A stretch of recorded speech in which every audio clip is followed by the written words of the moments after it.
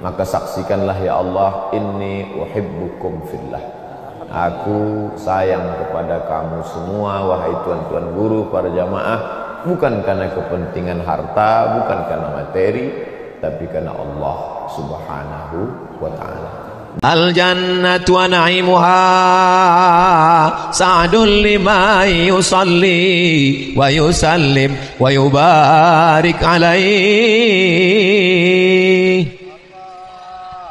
abtadiul imla abismi dzatil aliyah mustadirra faidal barakati ala ma ana lahu wa aulah ada sahabat Nabi yang sampai ke negeri tenggelamnya matahari Maroko Maghribi namanya Uqbah radhiyallahu anhu. Ada sahabat Nabi sallallahu alaihi wasallam yang sampai ke Bahrul Qazwain, Teluk Kaspia dekat dari Moskow, Rusia. Namanya Hudzaifah ibnul Yaman radhiyallahu anhu. Ada sahabat Nabi yang meninggal di Taif. Namanya Sayyidina Abdullah ibnu Abbas radhiyallahu anhu. Ada sahabat Nabi Abu Darda yang menetap di negeri Syam.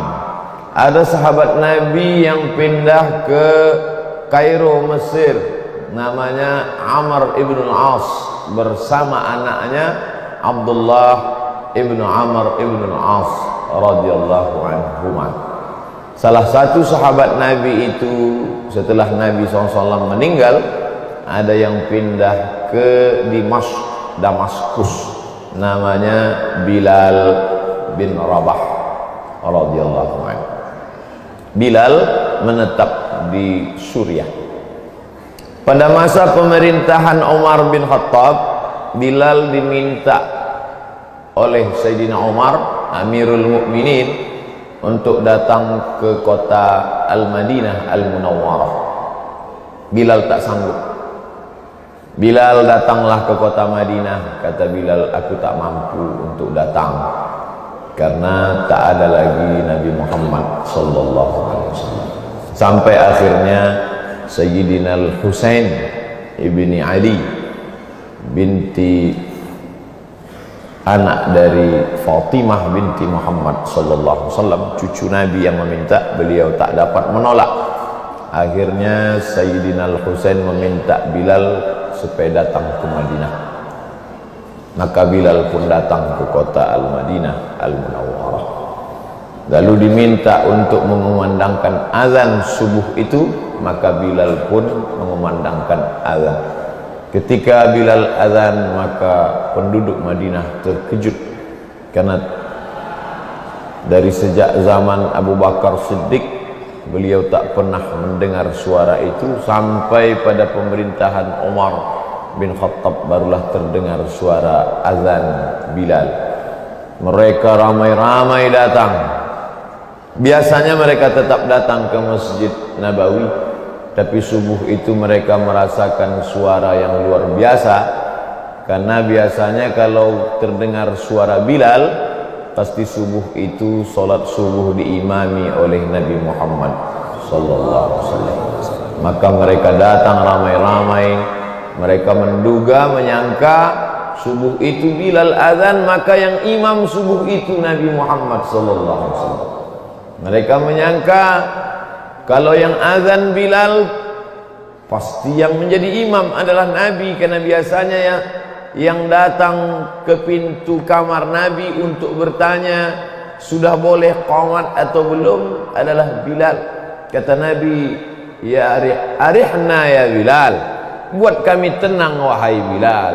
Kami sudah cukup berat dengan ujian dunia ini. Buat kami tenang. Arihna ya Bilal supaya saat kami mengadu munajat kepada Allah aqimis salat kumandangkan iqamat wahai Bilal tapi saat itu jangankan iqamat menyelesaikan azan pun Bilal tak sanggup tak selesai azannya berhenti di tengah jalan karena membayangkan Nabi Muhammad sallallahu alaihi wasallam.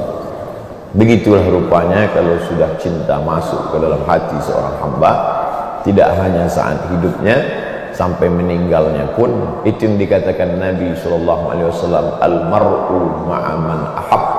Orang akan selalu bersama dengan yang dia cintai. Makna hadis itu menurut sebagian ulama orang akan bersama dengan yang dia cintai sampai nanti masuk ke dalam surga kalau kita cinta kepada Nabi, cinta pada para ulama, para habaib, para kiai, kita pun akan bersama mereka nanti di dalam surga Jannatul Firdaus. Tak dapat saya sebutkan satu persatu para asatiz, para tuan guru yang hadir subuh ini, maka saksikanlah ya Allah, inni uhibbukum fillah. Aku sayang kepada kamu semua wahai tuan-tuan guru, para jamaah bukan karena kepentingan harta, bukan karena materi, tapi karena Allah Subhanahu wa taala. Begitu juga dengan kecintaan kita kepada Tuan Guru almarhum Al-Maghfurlah Kiai Haji Ustaz Arifin Ilham.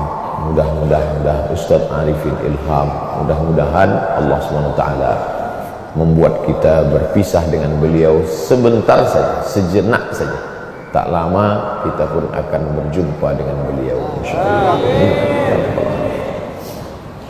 Beratkah ujian yang dihadapi orang beriman? Tidak. Karena kata Allah, A'udzubillahi minasyaitonirrajim, ya ayyuhallazina amanu, hai orang beriman, Kita semua yang beriman ini disuruh minta tolong kepada Allah, ista'inu minta tolong kepada Allah bis dengan sabar. Makna sabar menahan diri dari memukul-mukul pipi, merobek-robek kantong dan berteriak niyahah, meratap. Laisa minna man darabal khudud wa syaqqal juyub.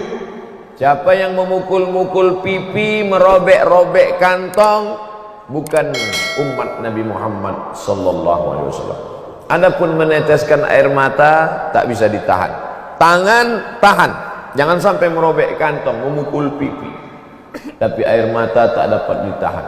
Maka Nabi sallallahu alaihi wasallam ketika meninggal anaknya Ibrahim berumur 18 bulan, makamnya di Baqi menetes. Ama tarda ya Rasulullah?